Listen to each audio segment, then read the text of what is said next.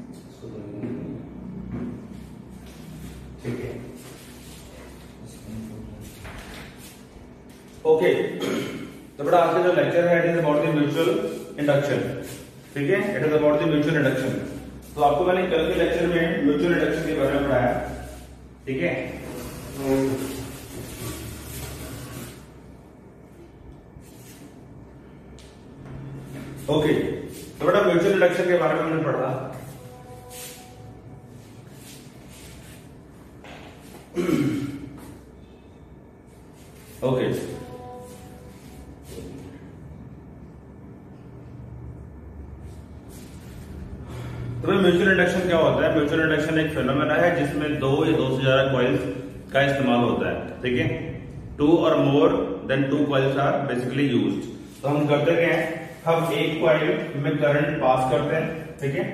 और इसके नेबर में जो दूसरी कॉइल रखी होती है, उसके अंदर करंट अपने आप ऑटोमेटिकली इंड्यूस होता है। मतलब इसमें करंट पास करेंगे, ठीक है? लेट इस डायरेक्शन में हमने क्या किया? करंट को पास किया। ये डायरेक्शन ऑफ़ करंट है, ठीक है? अगर ये डायरेक्शन ऑफ़ करंट होगा, एक बार रिवाइज करवा रहा जो कल कराया। ठीक है, ये डायरेक्शन ऑफ़ करंट होगा।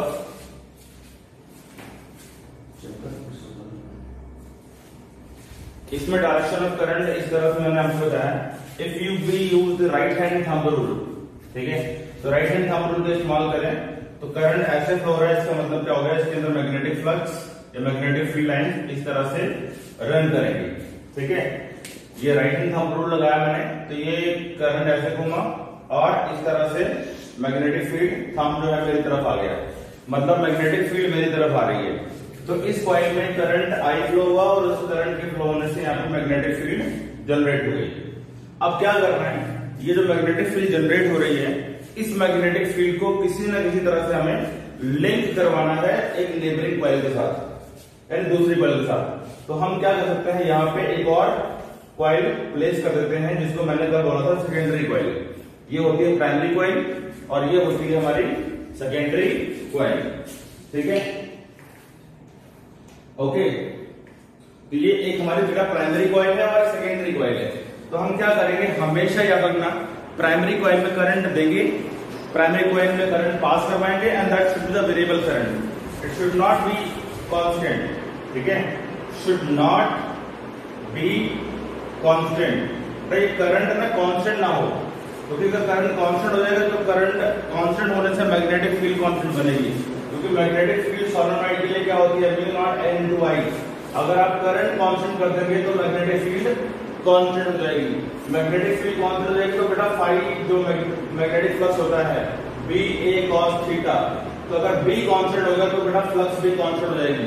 क्योंकि automatically area of theta between B and A ये तो फिक्स ही है। तो चक्कर बढ़ जाएगा। तो अगर यहाँ पे करंट वेरिएबल नहीं है तो there will not be any possibility of change in flux change in flux बेटा नहीं हो पाएगा। और चेंज इन फ्लक्स नहीं होगा then how we will say that कि वहाँ पे फैराडेज लॉ काम करेगा। तो फैराडेज लॉ जो होता है EMF induce equal to minus D five by D T ये फैराडेज लॉ नहीं लग पाएगा यहाँ पे। This will not be valid अगर फ्लक्स चेंज नहीं हो रहा। तो फ्लक्स का चेंज होना मैंडेटरी है। चाहे आप एंटी करंट पढ़ लो, चाहे आप सेल्फ इंडक्शन पढ़ लो, चाहे म्यूचुअल इंडक्शन पढ़ लो, हर केस में फैराडेज लॉ लगना चाहिए, लगता है जनरली और फैराडेज लॉ लगने के लिए फ्लक्स शुड चेंज और फ्लक्स कब चेंज होगा अगर करंट वेरिएबल होगा। चाहे करंट यहाँ पे इंक्रीज हो, चाहे करंट यहाँ पे डिक्रीज हो जाए। ठीक है? मैं यहाँ पे मान रहा हूँ कि आई जो है बेटा वो इंक्रीजिंग है। आई इंक्रीजिंग है। ये सारा कल बताया हुआ मैंने आपको। तो यहाँ पे जो ये इंक्रीजिंग फ्लक्स है, या लिंकअप होगा। तो इस कॉइल में करंट ऐसे बने कि वो इस इंक्रीजिंग फ्लक्स को अपोज करे। तो ये इंक्रीजिंग फ्लक्स यहाँ पे अपोज कैसे होगा अगर इसमें करंट की डायरेक्शन इससे उल्टी आ जाए मतलब ये जो डायरेक्शन ऑफ़ करंट है यहाँ पे इस कॉइल के अंदर प्राइमरी सोलोनॉइड के अंदर, इसके ऑपोजिट डायरेक्शन में करंट यहाँ पे अगर फ्लो हो जाए तो opposition of flux will be valid ठीक है? और लेंथ फ्लो हमारा वैलिड होगा। ठीक है? तो क्या होगा इसके अंदर? फ्लक्स चेंज जब होगा तो इसके अंदर करंट इंड्यूस हो जाएगा। और उस करंट इंड्यूस की डायरेक्शन कुछ इस तरह से होगी दिस इज़ आई इंड्यूस ठीक है? ऑपोजिट डायरेक्शन में। क्लियर है? अगर यहाँ पे मैंने कल आपको बताया था, अगर फ्लक्स इंक्रीजिंग है तो current should be flowing in the opposite manner oppose करने के लिए। And if the current is decreasing then flux इस तरह से बनना चाहिए कि उसको वो सपोर्ट करते दे। यानी करंट इस तरह से बनना चाहिए कि फ्लक्स को घटने से रोके। यानी इंक्रीज ऑफ़ फ्लक्स को भी इंक्रीज ऑफ़ फ्लक्स को अपोज करना है और डिक्रीज ऑफ़ फ्लक्स को सपोर्ट करना है।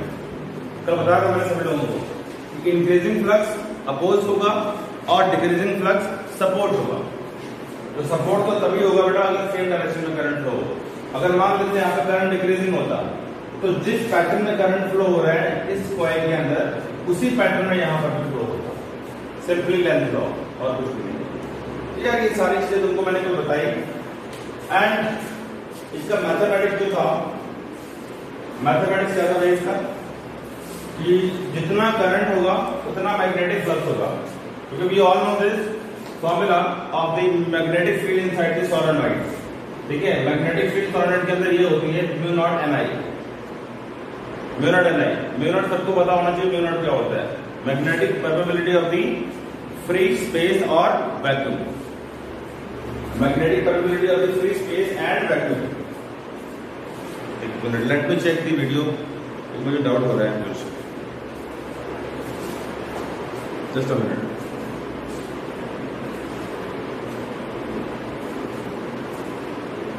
कभी कभी क्या होता है ना इंटरनेट स्लो हो जाता है बीच में। तो स्क्रीन पे जो स्पीड आ रही है ठीक ठाक लेकिन चेक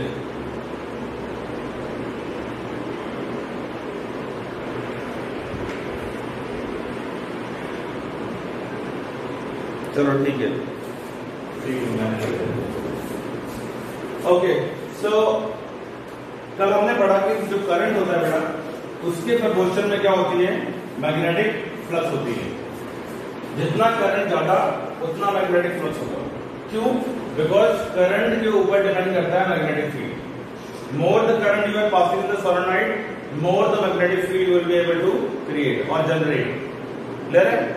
तो करंट के प्रोपोर्शन में मैग्नेटिक फ्लक्स होता है। तो हमने कल यहाँ से एक्सप्रेशन निकाला था एम टाइम्स आई ये निकाला था where m is called the coefficient of mutual induction ये सिंपली हम इसको बोलते हैं म्यूचुअल इंडक्टेंस इंडक्टर होता है, एक ऐसा डिवाइस है विच अपोजेस द ग्रोथ और डिके ऑफ़ द करंट क्योंकि करंट के ग्रोथ को या उसके डिके को अपोज करता है। करंट को बढ़ने में नहीं देता एकदम से और करंट को एकदम से घटने में नहीं देता है। Slowly increase and slowly decrease okay तो म्यूचुअल इंडक्टेंस फेनोमेना दो कॉइल से, दो से ज़्यादा कॉइल के लिए होगा। ठीक है? सेल्फ इंडक्टेंस सिंगल कॉइल का फेनोमेना है। इसको याद रखना तो five is equal to M times five M की वैल्यू क्या बनती है? Five B divide by I और इसका यूनिट वगैरह जो बता दिया था मैंने आपको यूनिट इसका होता है मुझे हेनरी क्या यूनिट होता है? हेनरी या फिर हम इसको लिख सकते हैं मैग्नेटिक फ्लक्स होती है वेपर्स में तो इसको लिख सकते हैं वेपर और करंट होता है एम्पियर में तो वेपर पर एम्पियर चाहो तो हेनरी लिखो कैपिटल एच से, और चाहो तो वेपर पर एम्पियर लिखो. Both are one and same thing तो ये जो कल आपको मैंने मैथमेटिक्स बेसिक बता दिया था। इसके बाद में हम आगे बात करेंगे। और मैंने कहा तुमको ये भी बता देना कि किस पोजीशन ऑफ़ कॉइल के लिए मैग्नेटिक फ्लक्स लिंकेज जो भी मैक्सिमम देखिए, कल आपको बता दिया था मैंने इस बारे में। जब दोनों कॉइल्स एक दूसरे के ऊपर रैप कर देते हैं तो म्यूचुअल इंडक्शन मैक्सिमम हो सकती है, या मैक्सिमम होती है बिकॉज़ उसमें मैक्सिमम फ्लक्स लिंकेज हो पाएगी। मैक्सिमम फ्लक्स लिंकेज जितना ज़्यादा फ्लक्स लिंक होगा, उतना बेटर क्वालिटी का म्यूचुअल इंडक्शन हो पाएगा। तो बेटर फ्लक्स लिंकेज के लिए हम एक कॉइल को दूसरी कॉइल के ऊपर ही रैप कर देते हैं। जैसे कि ये मेरे पास में बेस है। इसके ऊपर मैंने प्राइमरी कॉइल लपेट दी और इसी के ऊपर से मैंने सेकेंडरी कॉइल लपेट दी। इसका मतलब ये हुआ कि there are two solenoids which are wrapped over one another and they have common axis उन सभी का क्या है बेटा? कॉमन एक्सिस हो गया। उस केस में maximum magnetic flux will be linked and maximum mutual induction can be obtain and least magnetic what you call least mutual induction तब ऑब्टेन होती है अगर दोनों कॉइल्स आपस में right एंगल पर रखी जाए परपेंडिकुलर रखी जाए। अगर दोनों कॉइल परपेंडिकुलर हैं तो least magnetic what you call mutual induction हो पाएगी। मतलब इस तरह से। ये प्राइमरी कॉइल हो गई, ठीक है? और इसके परपेंडिकुलर डायरेक्शन में एक सेकेंडरी कॉइल होगा ये परपेंडिकुलर हो गया। तो यहाँ पे लीस्ट क्या होगा? म्यूचुअल इंडक्शन होगा। लीस्ट म्यूचुअल इंडक्शन होगा। और अगर वो एक दूसरे के ऊपर रैप है कोएक्सियल है कोएक्सियल मतलब जिनका एक्सेस सेम हो जाए। तो ऐसे केस में क्या होगा? Maximum magnetic what is call maximum amount of flux can be link यानी मैक्सिमम म्यूचुअल इंडक्शन रख दिया ओके अच्छा अब हम बात करेंगे फैराडेज लॉ की यहाँ पे फैराडेज लॉ दोबारा से लगा के दिखाता हूँ तुम्हें देखो। कल हमने पढ़ा था कि जो ईएमएफ होती है, वो होती है minus D five D by D T clear है? दूसरी बात हमें ये भी पता है कि ये जो फ्लक्स है five B this is equal to M times I अगर मैं इसकी वैल्यू उठा के यहाँ पर पुट कर दू फाइव बी की तो what I will get minus D by D T M times I M times I EMF क्या बना बेटा? ईएमएफ बन जाएगा minus D divide by D T into M I यानी कि यहाँ पे जो एम है, वो है कॉफिशियंट ऑफ़ म्यूचुअल इंडक्टेंस या इंडक्शन या सिंपली हम इसको म्यूचुअल इंडक्टेंस बोल देते हैं, क्योंकि दो कॉइल्स का फेनोमेना है ठीक है अगर सिंगल कॉइल की बात करते हैं तो यहाँ पे एल लिखते हैं। मैंने बताया था minus L D I by D T वहाँ पे ये मैं फॉर्मूला निकालने के लिए। In single coil pair of coil है तो हम क्या करेंगे? Minus M D I by D T अभी आज इसके न्यूमेरिकल भी तुम्हें कराऊँगा मैं। बट पहले थ्योरी पार्ट खत्म करते हैं। तो M is equal to minus M D I by D T this is the expression for the induced EMF inside the secondary coil तो सेकेंडरी कॉइल में इतना ईएमएफ क्या होगा? बन जाएगा during the process of mutual induction और कल ये भी बताया था कि जो म्यूचुअल इंडक्शन है, बड़ा ही प्रैक्टिकल फेनोमेना है। और जितने हमारी गलियों में ट्रांसफार्मर लगे होते हैं हाई वोल्टेज या लो वोल्टेज ट्रांसफार्मर सभी का जो वर्किंग प्रिंसिपल है, वो यही है mutual induction very very important transformer एक पाँच नंबर का बड़ा क्वेश्चन आता है एग्ज़ाम के अंदर. मतलब इस साल नहीं आया था बोर्ड के अंदर, उससे पिछले साल आया था और उससे पिछले साल भी आया था. तो ट्रांसफार्मर पे जनरली क्वेश्चन आता ही है. तो इस साल नहीं आया दैट मीन कि आपके साल में ज़रूर आएगा वो. ठीक है? ट्रांसफार्मर या जनरेटर इन दोनों में से एक टॉपिक पे क्वेश्चन 99 परसेंट श्योर रहता है। ठीक है? वैसे ट्रांसफार्मर की ज़्यादा श्योरिटी बनती है बिकॉज़ ट्रांसफार्मर बिल्कुल नया टॉपिक है, आपने टेंथ में इसके बारे में सुना भी नहीं हुआ है। वैसे सुना ज़रूर होगा, लेकिन उसका कंसेप्ट आपने बिल्कुल नहीं पढ़ा हुआ है एसी जनरेटर तुमने पढ़ रखा होगा टेंथ क्लास के अंदर। थोड़ा बहुत पढ़ा हुआ है, इसलिए वो उसकी पॉसिबिलिटी कम बनती है। और ट्रांसफार्मर की पॉसिबिलिटी ज़्यादा बनती है। तो ट्रांसफार्मर मैं कराऊँगा आपको और उसका वर्किंग प्रिंसिपल यही है म्यूचुअल इंडक्शन तो अगर आपको म्यूचुअल इंडक्शन में कोई गड़बड़ी है, कोई कंसेप्ट क्लैरिटी नहीं है, समझ लो अच्छे तरीके से बिकॉज़ ट्रांसफार्मर में मैं दोबारा से इसको नहीं बताने वाला ठीक है? Because it will be wastage of time then तो ये हो गया बेटा इंड्यूस ईएमएफ का formula minus M D I by D T this is minus M D I by D T okay अगर आपसे कोई बोले कि भाई define the mutual inductance M की वैल्यू आप डिफाइन करोगे। कोई बोल दे। कैसे डिफाइन करोगे? तो एम जो होगा it will equal to minus E divide by D I upon D T ऐसे डिफाइन कर दोगे? And let us suppose magnitude of inducement की बात कर रहे हैं। क्योंकि तो मैंने आपको बताया था फैराडेज लॉ के अंदर हम लोग ई e मोड लिखते हैं। मैग्नीट्यूड ऑफ़ इंड्यूसमेंट यहाँ पे माइनस साइन को हटा देते हैं। तो ये बनेगा अपना E divide by D I bond D T ये बन जाएगा। माइनस का मतलब सबको पता है ना? माइनस क्यों लगाते हैं? माइनस का जो रीजन है, वो हमें लेंथ ने बताया था। लेंथ लो पढ़ा होगा आपको। तो लेंथ यही कहता था कि जो ईएमएफ इंड्यूस हो रही है, वो इस तरह से इंड्यूस होगी कि it will oppose the change of flux ठीक है? चेंज ऑफ़ फ्लक्स को क्या होगा? अपोज करना चाहिए। कौन? इंड्यूस ईएमएफ क्लियर है?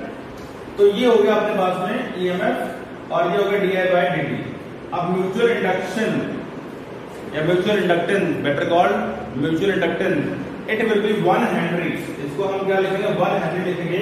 अगर वन वोल्ट का ईएमएफ इंड्यूस हो रहा हो सुनना ध्यान अगर वन वोल्ट का ईएमएफ इंड्यूस हो रहा है on changing on changing one ampere current per second simple इसका मतलब ये हुआ कि ये क्या बन गया बेटा? Volt volt second per ampere volt second per ampere यानी कि one henry is equal to one volt second per ampere मतलब कि अगर भाई किसी कॉइल में म्यूचुअल रिडक्शन वन हेनरी कही जाएगी, अगर वन वोल्ट का ईएमएफ उसके अंदर इंड्यूस हुआ है on changing one ampere current per second her second पे अगर करंट वन एम्पियर की रेट से चेंज हो रहा है, और उस कॉइल के अंदर वन वोल्ट ईएमएफ इंड्यूस हो रही है then we will say that the coil is having inductance of one henry that's it ये डेफिनेशन है। या फिर यहाँ से भी आप इसको डिफाइन कर सकते हो।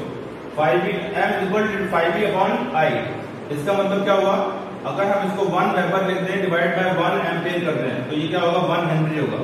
यानी कि if the flux of if the flux of 1 weber is changing in increasing or decreasing the current of 1 ampere.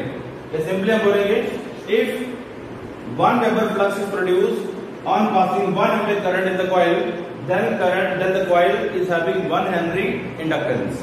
तो coil में 1 Henry inductance होगी चाहे आप यहां से डिफाइन करो चाहे वहां से डिफाइन करो but this is more accurate and better way region क्योंकि बच्चे म्यूचुअल इंडक्शन तब आती है whenever there is change in current current का चेंज होना चाहिए। यानी D I by D D I by D क्या है? Change of current per unit time तो this is more appropriate definition more appropriate way to define the mutual induction बात यहाँ से जाएगी नंबर कटेंगे नहीं तुम्हारे? बट ये ज़्यादा एक्यूरेट है। ओके तो इसको आप नोट कर लो। फिर आज हम एक और डायरेक्शन करते हैं mutual induction of two two coaxial solenoids इसको पहले नोट कर दो आप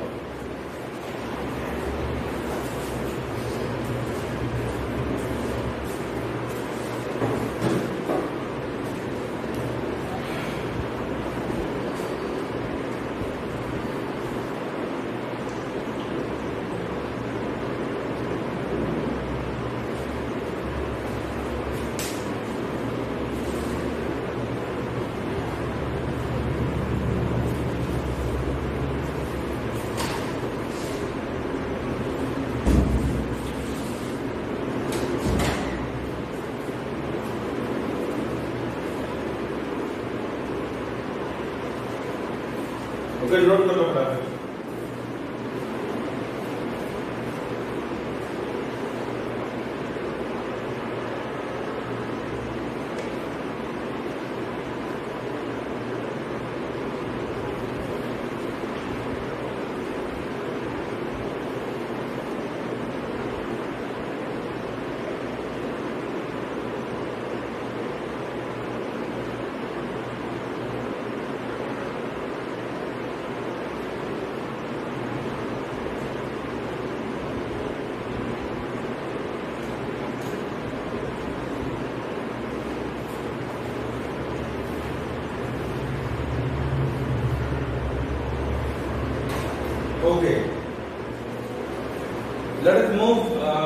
next topic.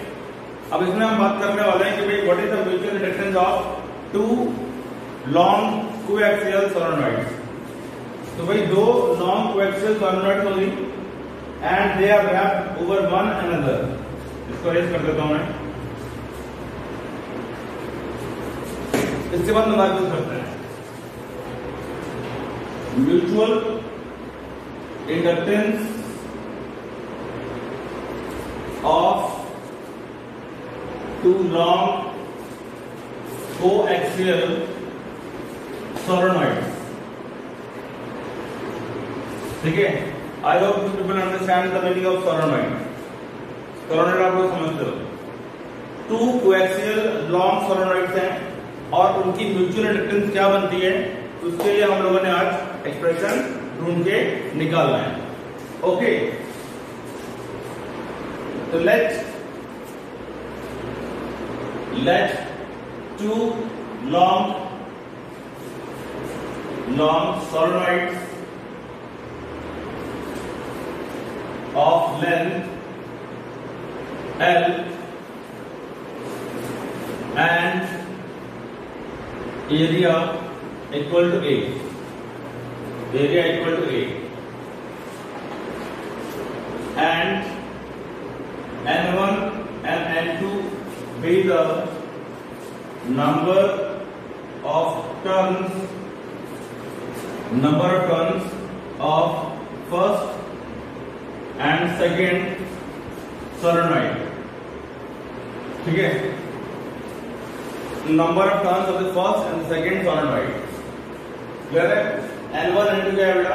फ़र्स्ट और सेकेंड सोलोनॉइड की नंबर ऑफ़ टर्न्स हैं। ठीक है? लेंथ और एरिया दोनों का क्या है बेटा? बराबर है सेम है। मतलब इस तरह से।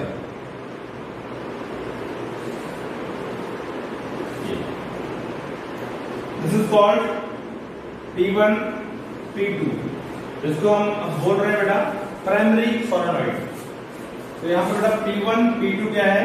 Primary solenoid primary solenoid primary coil और S1 S2 हमारे पास में क्या होगा बेटा? सेकेंडरी सोलेनॉइड ठीक है? लिखने का तरीका है very important derivation usually in examination for two two three marks चाहे वो सेल्फ इंडक्टेंस का डेरिवेशन आ जाए, चाहे ये वाली आ जाए आती ज़रूर है। ओके और यहाँ पे बेटा क्या है? एक सेकेंडरी सोलोनॉइड मैंने रखा इस तरह से। दिस इज़ सेकेंडरी सोलोनॉइड जो इसके ऊपर ही ऐसे रैप कर दिया गया है। ये डॉटेड लाइन है ना बेटा this is for the secondary solenoid इस तरह से। Just feel it and try to understand okay हाँ ये बना। दिस इज़ डॉटेड जो लाइन मैंने बनाया बेटा? This is covered secondary solenoid इसको मैं लिख रहा हूँ यहाँ पे S1 और इसको लिख रहा हूँ मैं यहाँ पे S2 that's it okay clear है? क्लियर प्राइमरी और सेकेंडरी कॉइल्स को मैंने सॉरी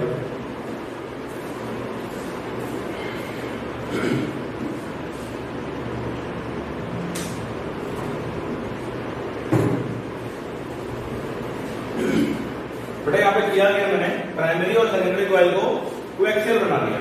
यानी कि इनकी जो एक्सिस है ना, बेटा ये वाली दिस एक्सिस ये सेम हो गई है।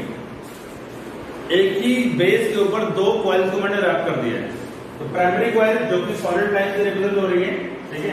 Primary coil by solid line और डॉटेड लाइन से हम क्या कर रहे हैं बेटा? सेकेंडरी कॉइल को रिप्रेजेंट कर रहे हैं। ये मैंने यहाँ पे मार्किंग कर दी है। Solid line primary secondary coil dotted line अब यहाँ पे प्राइमरी कॉइल में करंट पास हो रहा है। मान लेते हैं करंट कितना पास हो रहा है बेटा? आई वन मान लेते हैं। If if I one current is increasing through the P1 P2 यानी प्राइमरी कॉइल प्राइमरी कॉइल में आई वन करंट क्या हो रहा है? इंक्रीज हो रहा है। देखो करंट कांस्टेंट नहीं होना चाहिए। अगर करंट कांस्टेंट होगा तो फ्लक्स कांस्टेंट फ्लक्स कांस्टेंट तो ईएमएफ इंड्यूस नहीं होगी। Mean there will not be any mutual induction ठीक है? म्यूचुअल इंडक्शन या सेल्फ इंडक्शन के होने के लिए बेटा फैराडे लॉ लगना चाहिए। फैराडे लॉ लगने का मतलब क्या हुआ? कि मैग्नेटिक फ्लक्स शुड चेंज सारी कहानी इसी के ऊपर डिपेंड करती है। फ्लक्स चेंज होना चाहिए। फ्लक्स कॉन्स्टेंट हो, ये सब बेकार है। ओके तो करंट I1 जो है बेटा, यहाँ पे इंक्रीजिंग हो गया through primary coil P1 and two ठीक है? This causes mutual induction mutual induction and I2 current say, is induced in S1 S2 बोलो बात क्लियर हो रही है? भाई प्राइमरी कॉइल में हमने करंट दिया, ठीक है? और सेकेंडरी कॉइल में करंट इंड्यूस करवा दिया। सिंपल है। Provided the current in the primary should change भाई प्राइमरी में करंट चेंज नहीं होगा then there will not be any possibility of the induction of the EMF there is no possibility at all EMF नहीं बनेगी तो बेटा current भी नहीं बनेगा। यानी करंट के बनने के लिए क्या चाहिए? ईएमएफ e ज़रूरी है। तो यहाँ पर मैंने बोला I two is the current induce in the secondary coil अब जो सेकेंडरी कॉइल है, इसमें करंट की डायरेक्शन क्या होगी? ये बात इंपॉर्टेंट है जानना कि भाई what is the direction of the current in the secondary coil तो यहाँ पर मैंने क्या बोला आई वन इंक्रीजिंग है। तो सेकेंडरी कॉइल में डायरेक्शन ऑफ़ करंट ऐसे आए कि वो इस इंक्रीजिंग करंट को अपोज करे। अपोज करे। मैंने बोला ना आपको, अगर फ्लक्स बढ़ रही है तो फ्लक्स को अपोज करना। और अगर फ्लक्स डिक्रीज हो रही है तो उसको सपोर्ट करना। अजीब प्यार दोनों के अंदर। ठीक है? तो यहाँ पे क्या होगा? तो I1 और I2 इनकी डायरेक्शन बहुत मैटर करती है। I one increasing and decreasing है, उसके बिहाफ पे डिसाइड करोगे कि यहाँ पे करंट की डायरेक्शन क्या होने वाली है। तो यहाँ बेटा करंट की डायरेक्शन ये आ गई दिस इज़ आई टू यहाँ पे नोटिस करो, ये डायरेक्शन में करंट आ गई। ये इस तरह से?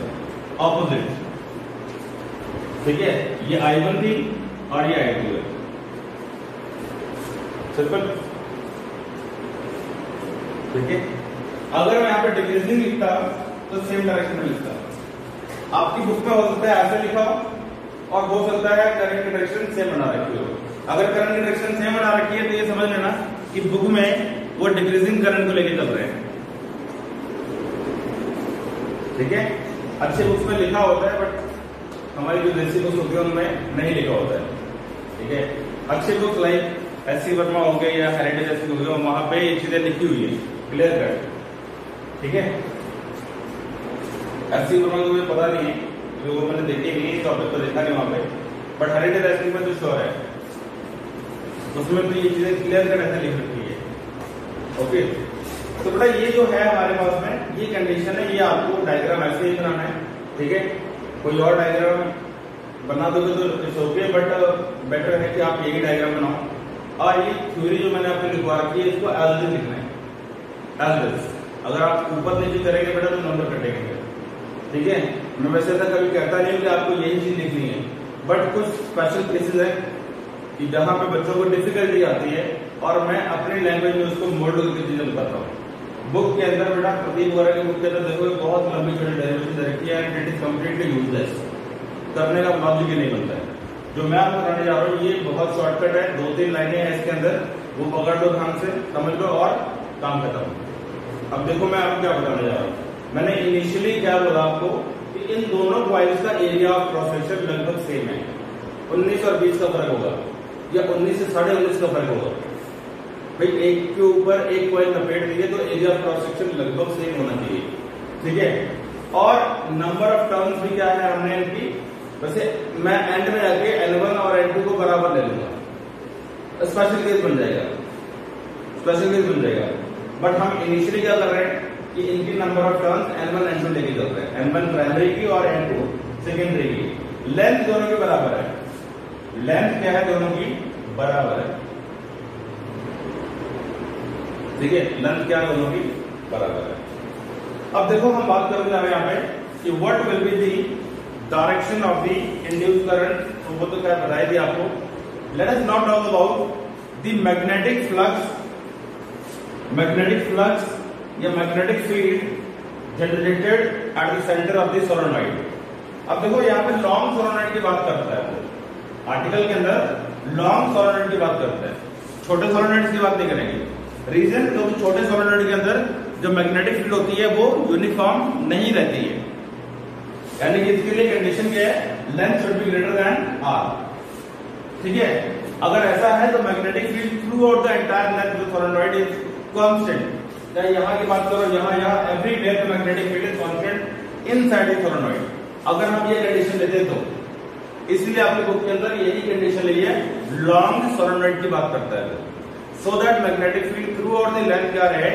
फिक्स रहे, बराबर रहे। अगर छोटा सोलोनॉइड लोगी तो वहाँ मैग्नेटिक फ़ील्ड यूनिफॉर्म नहीं रहेगी। वहाँ खाली सेंटर में magnetic field mu naught N I होती है। अगल बगल में magnetic field mu naught N I से कम होती है। और एंड पे पहुँचते पहुँचते mu naught N I by two हो जाती है। ये बताया था मैंने आपको। लाइफ एक्सेस के अंदर। ठीक है? तो यहाँ पे क्या होगा बेटा जब मैग्नेटिक फ़ील्ड बनेगी। Magnetic field inside the solenoid inside the solenoid T1 T2 is mu naught is uh, mu naught n into I I1 I1 क्यों भाई I1 लिखा मैंने बिकॉज़ I1 का मैग्नेटिक फ़ील्ड यहाँ पे है, और यहाँ पे मैंने n लिखा तो मुझे यहाँ पे लिखना चाहिए बेटा स्मॉल n क्या होता है? सबको याद होना चाहिए। N n by L number of turns per length तो हम किसकी बात कर रहे हैं? प्राइमरी कॉइल की बात कर रहे हैं। किसकी बात कर रहे हैं? प्राइमरी कॉइल की। तो मुझे यहाँ पे लिखना चाहिए N one by this should be the better expression primary coil और इसको मैं लिखता हूँ बेटा B one B one is the magnetic field created by primary coil primary solenoid secondary में तो है ही करंट सेकेंडरी में तो करंट इंड्यूस करवाना है. प्राइमरी में करंट जा रहा है. तो प्राइमरी में करंट गया तो प्राइमरी के सेंटर मैग्नेटिक फ़ील्ड कितनी बनी?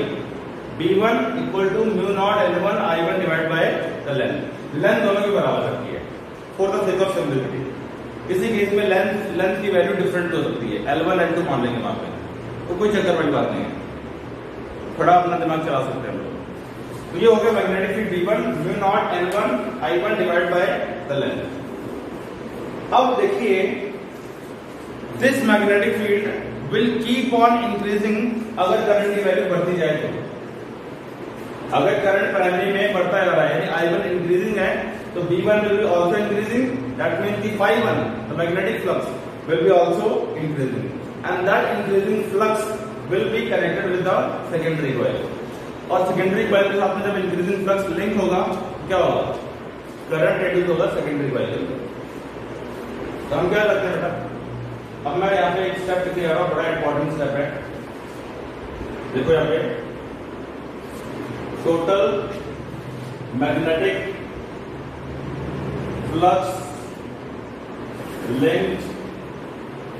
with the secondary solenoid secondary solenoid S one S two अच्छा एक बात मुझे बताना। सोच के बताना तुम लोग क्या बताओगे? तुम लोग घर पे बैठो। तुम लोग नहीं बताओगे, मैं ही बताऊँगा बट सोचना, जो मैं बात बोल रहा हूँ, क्या ये सही है? दोनों सोलोनॉइड एक के ऊपर एक ऐसे लपेटे हुए हैं। दोनों सोलोनॉइड का एक्सिस सेम है। कॉमन एक्सिस है। तो क्या दोनों सोलोनॉइड का सेंटर एक नहीं होगा? यानी कि अगर this is centre of first solenoid तो सेकंड सोलेनोइड का सेंटर तो ये होगा। मतलब कि जो मैग्नेटिक फ़ील्ड बनी है प्राइमरी कॉइल की तो मैग्नेटिक फ़ील्ड प्राइमरी कॉइल की वजह से बनी है। But this is same magnetic field which is at the centre of secondary coil also यार मैं ये कह रहा हूँ आपसे कि अगर ये एक लूप है, और इसके बगल में एक और लूप है, ठीक है? अगर इस प्राइमरी लूप के, ये P1 और ये S1 मान लो, ये एस मान लो इसके सेंटर पे यहाँ मैग्नेटिक फ़ील्ड बन रही है तो बेटा, ये जो एस है, इसके सेंटर पे भी वही मैग्नेटिक फ़ील्ड होगी। नहीं समझे यार ये करंट इसमें गया ये आई करंट गया तो इसके सेंटर में मैग्नेटिक फ़ील्ड जो भी बन रही है we will not talk about the mathematical equation इसके सेंटर में जो भी मैग्नेटिक फ़ील्ड बन रही है, वही सेंटर यार इसका भी है सेकेंडरी कॉइल का। अब सेकेंडरी कॉइल में कोई करंट नहीं है। सेकेंडरी कॉइल में कोई करंट नहीं, इसमें करंट है। इसमें कोई करंट नहीं है। There is no practically current there is no practical current I zero है करंट ज़ीरो है। इसके अंदर करंट इंड्यूस होगा। करंट इंड्यूस होगा कौन कराएगा। आई कराएगा। ये जो प्राइमरी कॉइल का करंट है, इसको ऐसे में फील करो। ये तो मैंने ऐसे लेंथ वाइज दिखा रखा है। अगर ये सोलोनॉइड है, ये। अगर आप सामने से इसको देखो तो ये लेंथ दिख रहा है। अगर मैं इसको ऐसे देखता हूँ तो ये मेरे लिए ऐसे सर्कल दिखेगा ऐसे गोल गोल। तो एक गोला उसके ऊपर एक और गोला एक सर्कल फिर एक और सर्कल उसके ऊपर। प्राइमरी उसके ऊपर सेकेंडरी फील करो। तो प्राइमरी में करंट है सेकेंडरी में करंट नहीं है सेकेंडरी में करंट इंड्यूस होगा, लेकिन तब होगा अगर करंट की वैल्यू यहाँ पे चेंज हो रही है आई की वैल्यू सिंपल सी बात है प्राइमरी का magnetic field mu naught I है तो सेकेंडरी का मैग्नेटिक फ़ील्ड भी वही होगा. क्यों? क्योंकि भाई ये जो ओ है O is the common centre of primary and secondary तो यहाँ मैं लिख सकता हूँ, यहाँ पे, इस जगह पे लिख सकता हूँ. This is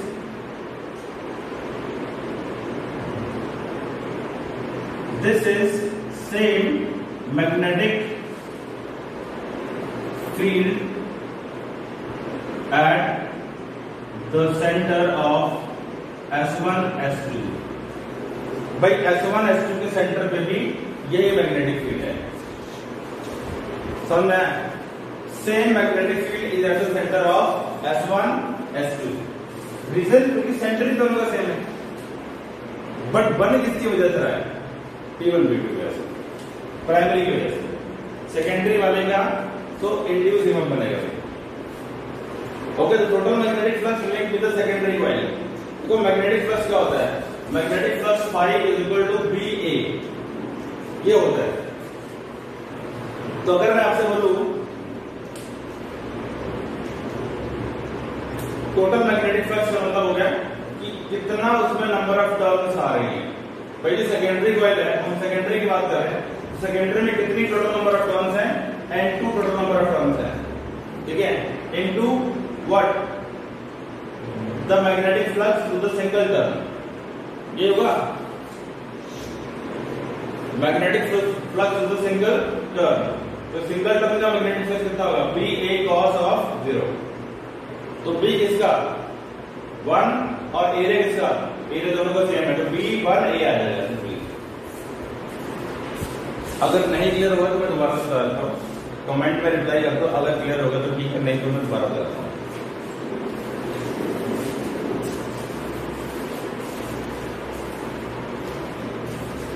Okay okay so N2 is equal to, sorry, ये क्या बना बेटा? This is the total flux link with the secondary solenoid secondary solenoid में कितना फ्लक्स लिंक हुआ? ये ऊपर जो डॉटेड सोलोनॉइड मैंने बना रखा है, इसकी टोटल नंबर ऑफ़ टर्न्स कितनी है? N2 total number of turns है। और अंदर वाली कितनी है? N1 है। N2 ये ऊपर वाली कॉइल में कितना फ्लक्स लिंक हुआ? तो ऊपर वाली कॉइल में कितने नंबर ऑफ़ टर्न्स हैं इन टोटल वो N2 है। इनटू द फ्लक्स फ्लक्स क्या होता है? बी ए कॉस थीटा तो यार कॉस थीटा यानी कॉस ज़ीरो होगा। बी और ए के बीच में एंगल ज़ीरो के लिए चलेंगे ओके तो बी ए अब बी कौन सा भी होना चाहिए? कौन सा भी होना चाहिए? प्राइमरी कॉइल का मैग्नेटिक फ़ील्ड प्राइमरी सेकेंडरी में तो है ही नहीं है ना? यार सेकेंडरी में तो अभी करंट इंड्यूस होगा। उसमें हम इंड्यूस करवा रहे हैं। हमने उसमें करंट दिया नहीं है। हमने प्राइमरी को करंट दिया खाली। और सेकेंडरी कोई करंट नहीं दिया। तो प्राइमरी में करंट दिया सेकेंडरी में कोई करंट नहीं दिया। सेकेंडरी में करंट इंड्यूस हुआ अपने आप। With the help of this current phenomena तो ये बना तुम्हारे पास में N2 B1 है। तो ये क्या होगा? N2 और B1 B1 क्या होगा? This is the B1 mu naught N1 area by coil length बोलो। सॉरी करंट है current I1 divide by length into the area of cross section ये होगा। This is total magnetic flux it is equation number one simple है okay very simple then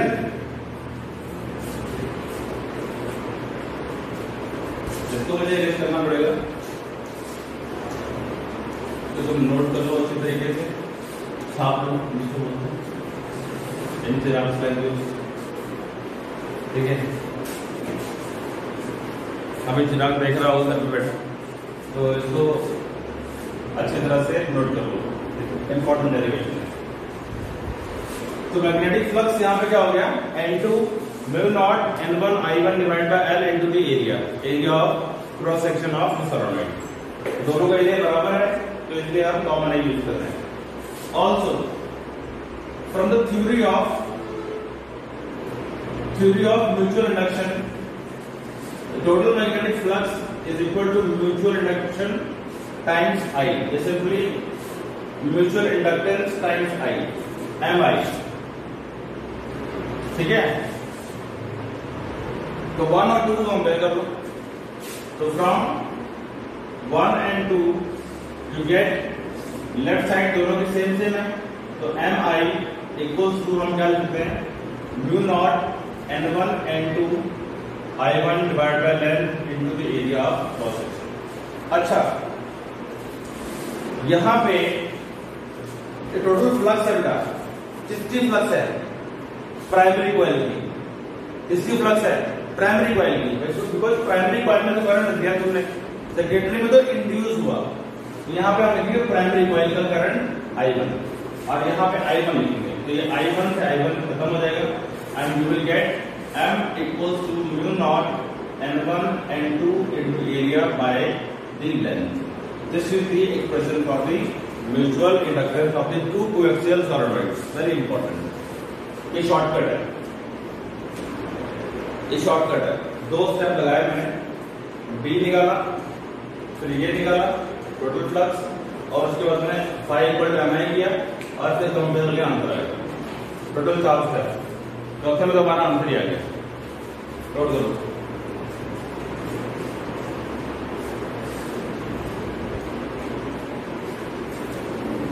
okay.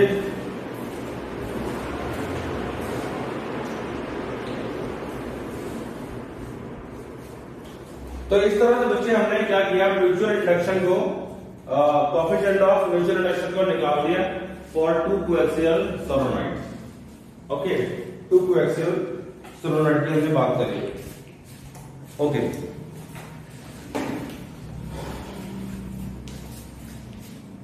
तो बेटा ये mutual induction जो है mu naught N one N two divide area divide by length अगर आपसे कोई पूछे कि what are factors on which M depends what are the factors on which M depends M किन बातों पर डिपेंड करेगा?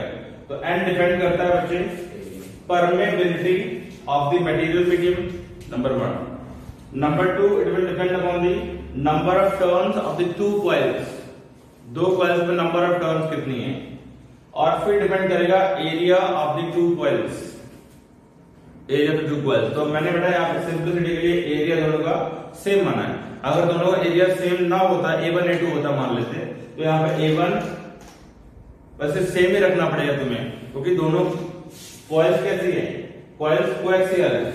ऐसा नहीं होगा कि एक कॉइल ऐसी है और दूसरी कॉइल ऐसी है। ऐसा नहीं होगा। अगर ऐसा रखेंगे तो बड़ा इनको कोएक्सियल बनाना बड़ा मुश्किल होगा। एंड उस केस में फिर एरिया भी डिफरेंट होगा। And then the entire result will be different फिर एंटायर रिज़ल्ट डिफरेंट हो जाएगा। ठीक है? तो यहाँ पे क्या होगा? लेंथ सेम रखी है हमने, ठीक है? सिंपलिसिटी के लिए। ये सारा सिंपल करने के लिए रखा हुआ है। अदरवाइज़ काफ़ी कॉम्प्लिकेटेड फिनोमेना बन जाता है। ठीक है? जो कि हमें कॉम्प्लिकेटेड नहीं करना है। क्योंकि प्लस टू लेवल पे हम इसको कॉम्प्लिकेट नहीं कर सकते। हमारे पास में लिमिटेशन है। अगर हम इसको कॉम्प्लेक्स करेंगे तो it will go beyond our syllabus और सिलेबस से बाहर तो वैसे ही बोर्ड ने स्ट्रिक्टली मना किया इस साल के नहीं जाना है। ठीक है? वैसे भी हम बाकी साल में भी नहीं आते बट इस साल तो खैर कंडीशन ही ऐसी है कि सिलेबस बहुत कम कर दिया गया है। अभी मैंने आपका सिलेबस देखा नहीं है, मैंने आपको ए टू जेड पढ़ा दिया है in electromagnetic induction nothing has been you know skip कुछ भी स्किप नहीं कराया। है और मैं आज चेक करूँगा कि हो सकता है इसमें से कुछ चीज़ें उड़ा भी दी हूँ। ठीक है? बट इंटरेस्टिंग है, जानना ज़रूरी था, इसलिए आपको सारी चीज़ें मैंने डिटेल के अंदर करा दी है। ठीक है? अब इसमें एक रहता है इंडक्टर में कितनी एनर्जी स्टोर होती है? बट वो मैं आपको अगले लेक्चर में कराऊँगा। और अभी हमारे पास दस पंद्रह मिनट पड़े हैं, उसमें हम न्यूमेरिकल्स करने की कोशिश करते हैं। तो बेटा ये हो गया। अब कहता है कि one on what factors M depends आप फटाफट इसकी बात कर लेते हैं। On what factors M depends okay factors affecting M देखो, जो एम है, यहाँ पे लिखता हूँ मैं। M depends on N one N two ठीक है? एन वन एन टू बेटा डिपेंड करेगा। It will depend upon the permeability of medium ठीक है and it will depend upon the geometrical factors uh, like area and length ठीक है बेटा? ये तीन चीज़ें होगी नंबर ऑफ़ टर्न पर डिपेंड करेगा। डिपेंड करेगा एरिया और लेंथ के ऊपर, जो कि ज्योमेट्रिकल फैक्टर्स कहलाते हैं। And number three it will depend upon the nature of the material medium यानी परमेबिलिटी ऑफ़ मीडियम कैसा है।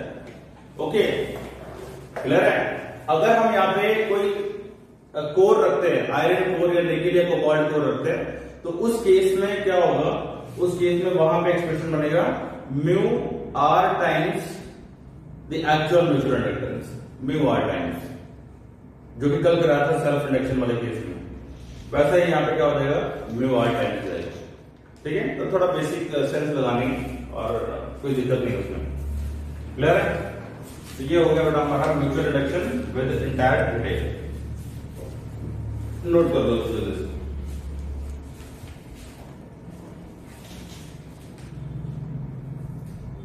ओके अब इसमें आ, कुछ क्वेश्चन है बेटा हम क्वेश्चन करेंगे। तो म्यूचुअल रिडक्शन तुम्हारे पास में आगे एक छोटा सी इसमें बात है यार वो बताने वाली थी। मैं स्किप कर गया उसको। छोटी सी बात थी। सेल्फ इंडक्शन के लिए भी होगा ये और म्यूचुअल इंडक्शन के लिए भी होगा। Very very short thing which I forward to tell you वो क्या है बेटा? मैंने आपको बताया था फॉर सेल्फ इंडक्ट इंडक्टेंस ठीक है? आपको ये बताया था मैंने phi B phi B proportional to current ये बताया था और यहाँ पे बताया था मैंने phi B equals to L times I बताया था ना ये। इसमें मैंने आपको छोटी सी बात नहीं बताई थी मिस हो गई थी बच्चे। वो क्या थी? अगर phi B proportional to I है तो बेटा फाइव बी वर्सेज आई का जो ग्राफ बनता है वो कैसा बनना चाहिए? अगर हम ये इस तरफ़ करंट लेते हैं और इस तरफ़ क्या लेते हैं? बेटा फाइव बी लेते हैं। तो बेटा जो ग्राफ होगा ना इस तरह से बनेगा। Straight line. रीजन? रीजन ये बनता है यहाँ पे कि भाई जो करंट है, अगर करंट बढ़ रहा है तो बेटा मैग्नेटिक फ्लक्स भी क्या होगा? बढ़ेगा। ठीक है? हमको प्रोपोर्शनल है। और यहाँ पे ये जो स्लोप बन रही है स्लोप अगर मैं इसको थीटा बोल दूँ तो जो टैन थीटा होगी यहाँ पे स्लोप वो स्लोप क्या होगी बेटे? बता सकते हो आप। अगर मैं इसका ट्रायंगल कंप्लीट कर दूँ तो क्या बनेगा? परपेंडिकुलर अपॉन बेस तो परपेंडिकुलर अपॉन बेस यानी कि 5b डिवाइड बाय करंट तो 5b बाय i, क्या होने वाला है? L. तो बेटा 5b divide by i will be equal to हो यानी कि जो स्लोप होगी बेटा 5b वर्सेस i ग्राफ की that slope is equal to what inductance frame से बाहर जा रहा हूँ। तो ये हो जाएगा बेटा इंडक्टेंस L ठीक है? यानी कि five 5v versus I graph का जो स्लोप होगा it will be equal to the inductance and same for mutual reduction same for mutual mutual induction same होगा। अगर हम ये देखते हैं this is I and this is 5v तो बेटा ये जो होगा slope and this is equal to what? slope and it is equal to m अगर हम म्यूचुअल इंडक्टेंस की बात कर रहे हैं तो वहाँ पर भी सेम कंसेप्ट है। बताया अंत में phi proportional to I and phi is equal to M I where M is the slope of the phi versus I graph अगर तो सिंगल कॉइल की बात हो रही है तो वहाँ पर ये इंडक्टेंस होगा। अगर पेयर ऑफ़ कॉइल की बात हो रही है तो वहाँ पर ये म्यूचुअल इंडक्टेंस होगा। अब एग्ज़ाम में क्वेश्चन क्या आता है? चलो ये बताया तुमने एग्ज़ाम में। क्वेश्चन ऐसे बना रहेगा कि भाई दो कॉइल्स हैं, ठीक है? दो कॉइल्स है और उनका ग्राफ ऐसे दिया हुआ तुम्हें फाइव बी वर्सेस आई ऐसे। इस तरह तुम्हें ग्राफ वगैरह दिया रहेगा। ठीक है? This is for coil one coil one ये coil A and this is for coil B तुमसे बोलेगा भाई किसका इंडक्टेंस ज़्यादा है? किसका इंडक्टेंस ज़्यादा है? सिंपल है। जिसका इंडक्टेंस ज़्यादा है तो आप बोलोगे जिसका स्लोप ज़्यादा है, उसका इंडक्टेंस भी ज़्यादा होगा। तो simply slope of A greater than slope of B एक नंबर का क्वेश्चन आया। है यानी कि L of A is greater than L of B simple on the other hand side अगर इसको उल्टा कर दे उल्टा करने का मतलब क्या है? अगर इधर फाइव भी कर दे और इधर आई कर दे और फिर बोले कि किसका स्लोप ज़्यादा है तो बी का स्लोप ज़्यादा होगा। फिर बी का स्लोप ज़्यादा होगा? नहीं, क्या बोलते हैं इसको? हाँ ठीक है बी का स्लोप भी ज़्यादा होगा। उल्टा हो गया ना? क्योंकि ये क्या हो गया यहाँ पे? हमारे पास में आई और इधर क्या है? बी हो गया। बी का स्लोप नहीं यार, क्या बोलते हो? बी का इंडक्टेंस ज़्यादा होगा। स्लोप नहीं स्लोप तो ये चढ़ाई होती है ऊपर ठीक है? क्लियर है? तो ये चीज़ें है। तो बी का इंडक्टेंस यहाँ पे ज़्यादा होगा लग गया पता सबको अगर नहीं पता लग गया बच्चे तो रिप्लाई कर दो व्हाट्सएप के अंदर। आई विल आंसर ओके तो ये हमारे पास में क्या है? This is the important result आओ मैं बाकी दो तुम्हें एनसीआरटी से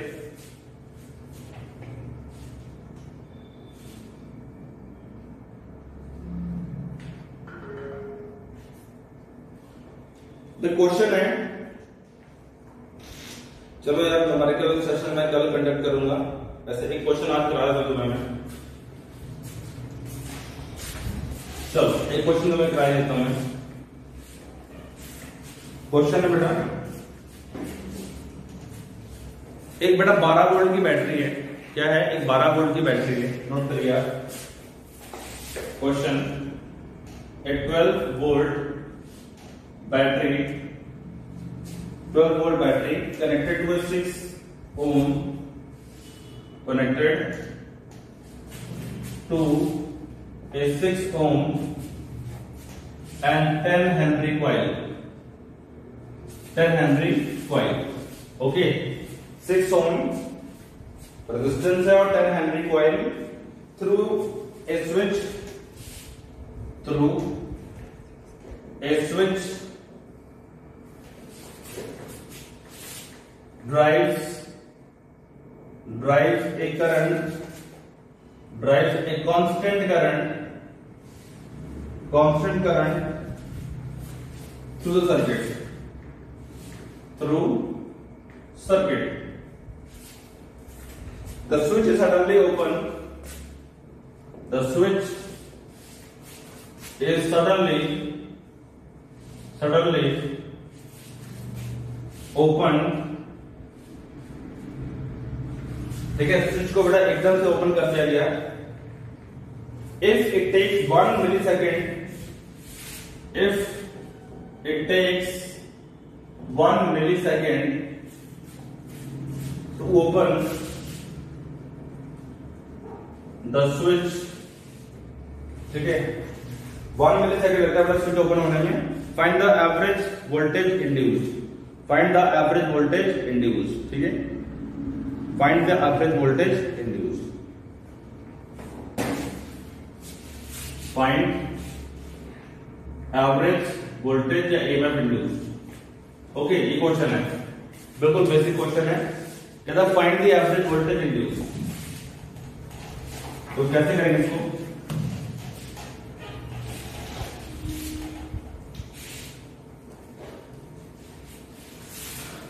यस तो देखो यार, कैसे करते हैं इसको?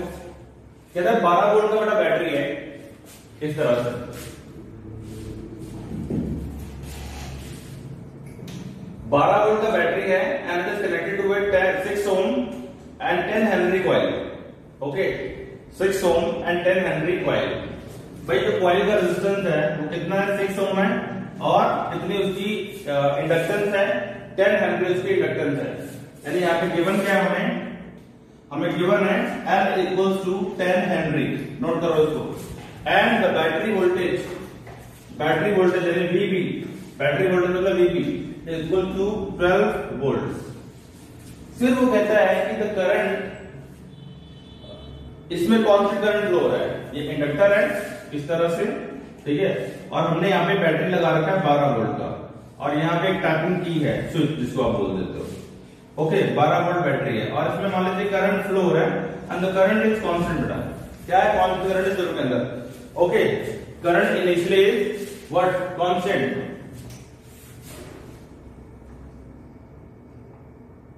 okay current कैसा है पे कांस्टेंट है. फिर वो आपसे कहता है कि यहाँ पे स्विच एकदम से क्या कर दिया गया बेटा? ओपन कर दिया गया। अभी स्विच जो है ना, यहाँ पे जुड़ा हुआ है। इस क्वाइल की जो रेजिस्टेंस है वो कितनी है? छह ओम तुमको दे रखी है। तो अगर तुमसे बोला जाए करंट निकालो तो करंट निकालने के फॉर्मूला क्या होगा? VB divide by the resistance yes और नो तो आप कहोगे कि ये 12 वोल्ट है डिवाइड बाय रेजिस्टेंस चाहिए तो ये कितना होगा? 2 एंपियर हो गया। दैट्स इट 2 एंपियर करंट इसमें फ्लो हो रहा है, यानी I is equal to 2 ampere जब सर्किट क्लोज था, अब क्या किया? सर्किट को ओपन कर दिया गया। सडनली ओपन यानी एकदम से स्विच को ओपन कर दिया गया। जब एकदम से ओपन किया गया तो what will happen current will decay current will decay it will start becoming zero दो एम्पियर करंट फ्लो हो रहा था, एकदम मस्त, बिल्कुल बढ़िया कांस्टेंट लेकिन क्या किया आपने? सर्किट को ओपन कर दिया। सर्किट ओपन करेंगे तो करंट दो एम्पियर से ड्रॉप होना शुरू होगा। ठीक है? वेन सर्किट ओपन या स्विच ओपन सर्किट में स्विच ओपन सर्किट ओपन करेंगे तो कैसे बात बनेगी? When switch open then I reduces from 2 ampere to 0 ampere in 1 milli second यही तो लिखा हुआ है। एक मिली सेकेंड का समय लगता है, दो एम्पियर से ज़ीरो एम्पियर जाने में। यानी करंट चेंज हुआ। यानी कॉइल के थ्रू क्या हुआ? करंट चेंज हुआ। करंट चेंज होगा तो क्या होगा? करंट चेंज होगा तो क्या होगा? फ्लक्स चेंज होगी। और फ्लक्स चेंज होगा तो फैराडे लॉ लग जाएगा। सिंपल है तो आप क्या करोगे यहाँ पे? तो करंट चेंज हो रहा है। ठीक है two ampere two zero ampere यानी कि हमारा क्या है? इनिशियली करंट टू एम्पियर था फाइनल करंट कितना हुआ? ज़ीरो देयरफॉर हम क्या लगाएँगे D I by D T इसको निकाल लेते हैं। D I by D T क्या होगा? डी आई मतलब चेंज इन करंट तो चेंज इन करंट कैसे निकालते हैं? Final minus initial final current कितना बना? ज़ीरो माइनस इनिशियल करंट कितना था? टू एम्पियर डिवाइड बाय कितना टाइम लगा? ये सब होने में। वन मिली सेकेंड लगा। वन मिली सेकेंड का मतलब होगा टेन की पावर माइनस थ्री सेकेंड। तो ये बना बेटा तुम्हारे पास में माइनस टू और टेन की पावर ऊपर ले गए three. This is what ampere per second. इतने एम्पियर माइनस टू, टेन की पावर टेन की power three, ampere per second. ये है रेट ऑफ़ सिलेक्ट करंट अब क्या रहेगा अब रहेगा तुम्हारा ईएमएफ इंड्यूस ये कहता था find the average EMF induce तो E average will be equal to इसका मोड ले लेते and will be equal to minus L D I by D T बोलो क्लियर है? मोड ले रहे ना? माइनस का होता है यहाँ पे? मोड ले लेंगे तो प्लस ही आ जाएगा। है ना? और वैसे भी एवरेज नेगेटिव तो होगा नहीं। एवरेज तो पॉजिटिव ही होगा। तो एल की वैल्यू कितनी आ जाएगी? एल की वैल्यू तुम्हारे पास में है टू माइनस में मत लिखना। नहीं। एल की वैल्यू है टेन एल की वैल्यू कितनी है? Ten into D I by D T बनेगा बेटा।